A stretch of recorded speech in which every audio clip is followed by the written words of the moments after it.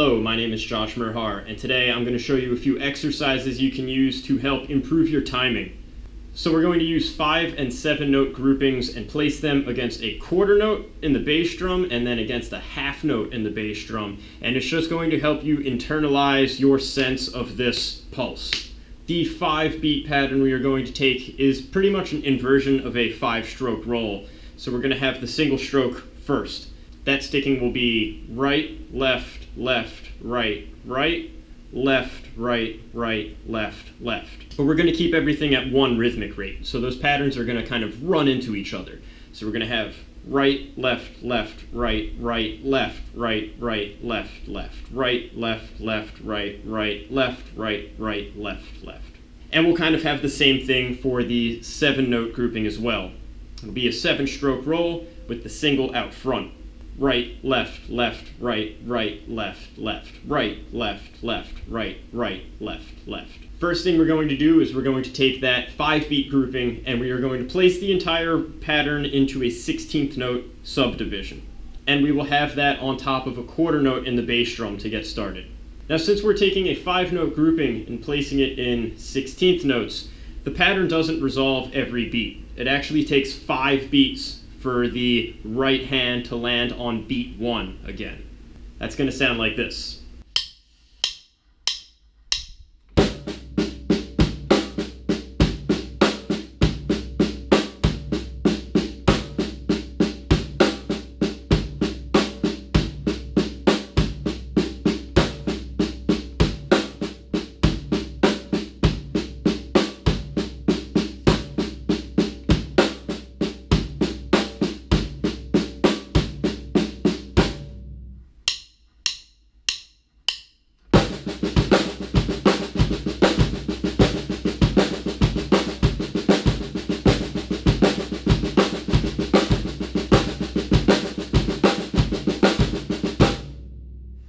We are going to have this five note grouping in 16th notes placed over a half note in the bass drum. So when we have the half note in the bass drum, it's going to take two full measures for the right hand to line up with the bass drum on beat one. And that's going to sound like this.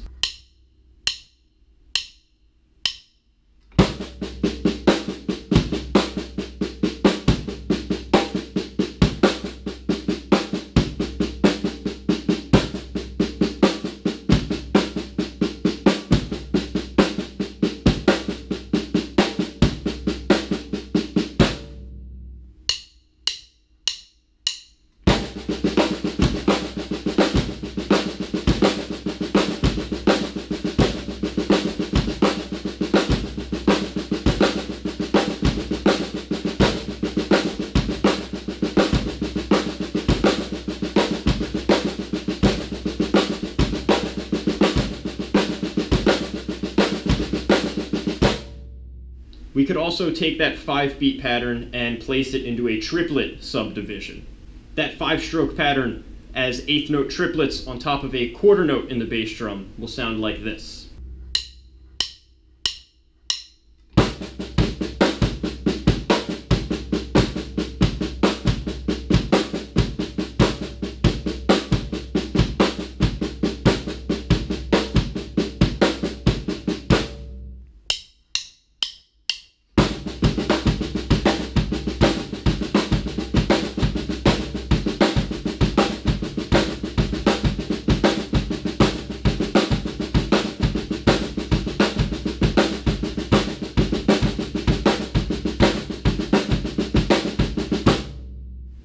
Five beat pattern in triplets on top of a half note in the bass drum will sound like this.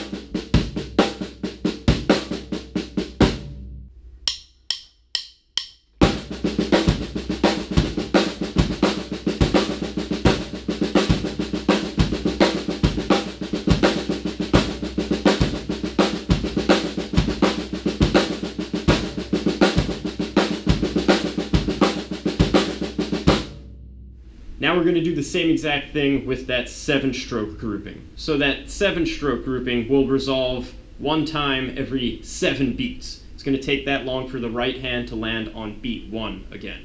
Seven stroke grouping as 16th notes on top of the quarter note in the bass drum will sound like this.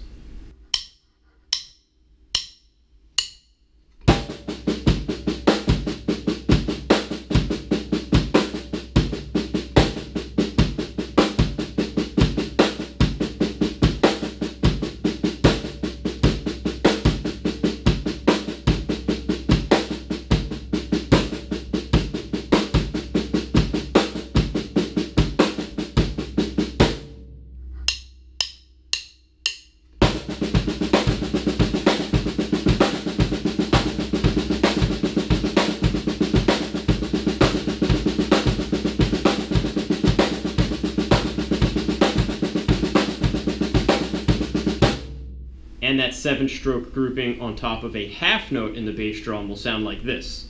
And this is going to take two full measures of seven in order for everything to resolve on beat one.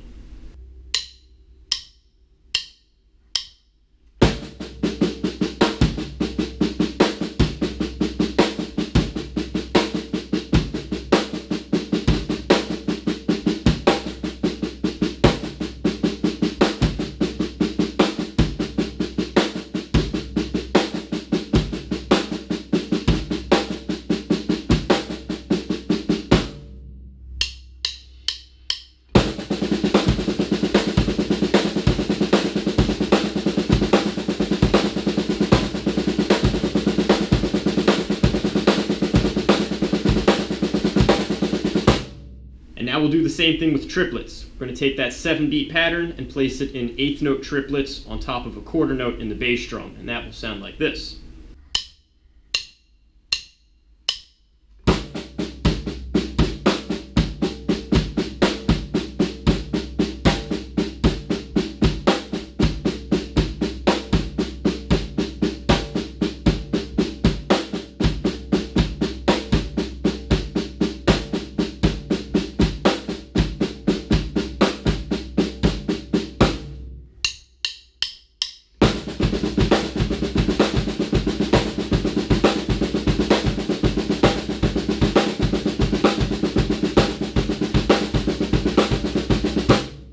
Going to take that 7 beat grouping in triplets and place it on top of a half note in the bass drum.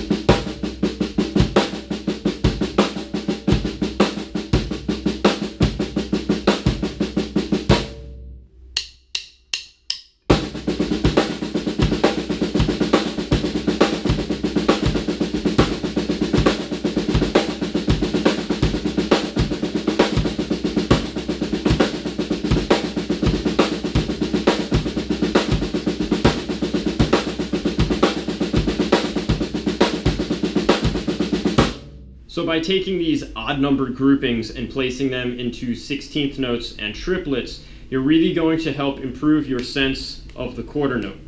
You're just going to have a very, very solid internal idea of where this pulse is going to be all the time. And that makes it much easier to kind of manipulate time and play over the beat and over the bar line. And it just opens up so many possibilities for phrasing more than anything. Go slow at first when practicing, use a metronome, use a metronome, use a metronome.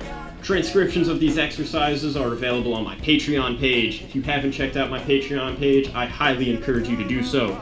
It's a really good way for you to support me directly, and I'm trying to make a little bit of money off of this stuff. Patreon makes it possible. Thank you very much for watching, happy practicing, and I will see you next time.